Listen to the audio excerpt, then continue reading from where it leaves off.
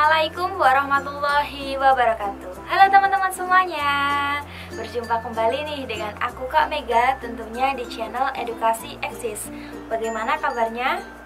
Semoga selalu dalam keadaan baik dan juga sehat ya Karena dengan keadaan yang sehat Maka kita dapat melakukan berbagai macam aktivitas Salah satunya yaitu belajar Teman-teman, untuk video pembelajaran kali ini kita akan belajar bersama tentang makna tata rias dalam seni tari.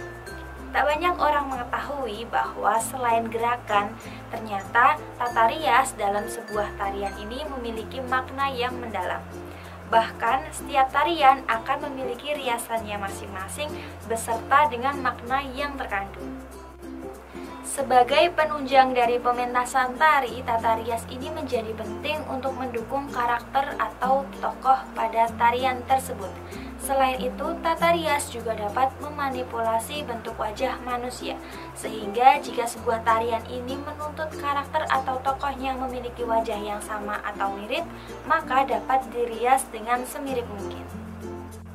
Bentuk tata rias dalam tari biasanya disebut dengan tata rias panggung.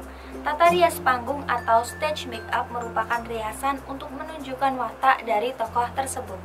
Makeup yang biasanya digunakan dalam pertunjukan panggung ini digolongkan dalam korektif makeup, style makeup, dan karakter makeup.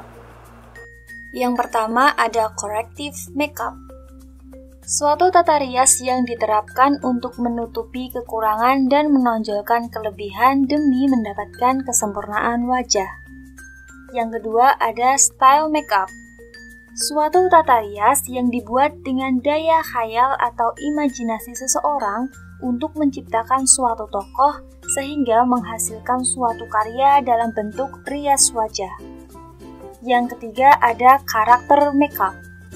Suatu tata rias yang diterapkan untuk mengubah penampilan seseorang dalam hal umur, sifat, wajah, suku, dan bangsa, sehingga sesuai dengan tokoh yang akan diperankan.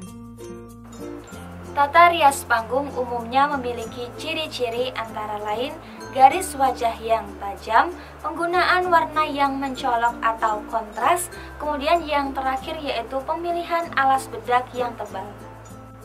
Hubungan antara tata rias dengan makna tari dapat dilihat dari aspek bentuk dan juga warna riasan. Untuk bentuk sendiri ini seperti bentuk alis, bentuk kumis, bentuk bibir, dan bayangan tulang atau shading. Kemudian ada warna riasan. Warna riasan seperti warna riasan bibir, warna riasan mata, kemudian ada warna alas bedak. Tata rias paes yang biasanya terdapat pada karya tari dinamakan dengan godek. Godek memiliki makna bahwa manusia sudah memahami asal-usul serta selalu mengasah budi pekerti. Maka dari itu, manusia diharapkan dapat kembali ke asal dengan sempurna. Tata rias menjadi salah satu elemen tari yang dapat menampilkan ide atau makna tari yang ingin disampaikan oleh seorang koreografer. Contohnya pada rias tari Maung Lugai.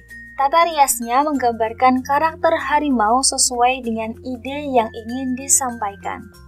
Tata rias juga dapat menggambarkan latar belakang budaya atau dari mana tarian tersebut berasal. Misalnya, pola lukisan wajah atau face painting yang khas pada beberapa daerah seperti contohnya rias pada tari Papua, motif es, atau huruf S terbalik dalam body painting tata rias Papua memiliki makna dualistik simbol paradoks laki-laki dan perempuan. Langit dan bumi lukisan wajah menggunakan cat dengan bintik-bintik atau garis putih mengandung makna rohania. Dan cukup sekian video pembelajaran kali ini. Semoga materi hari ini bermanfaat ya teman-teman. Tentunya jangan lupa like, komen, dan share video ini ke teman-teman kalian. Dan jangan lupa subscribe channel Edukasi Akses ini ya. Terima kasih. Wassalamualaikum warahmatullahi wabarakatuh.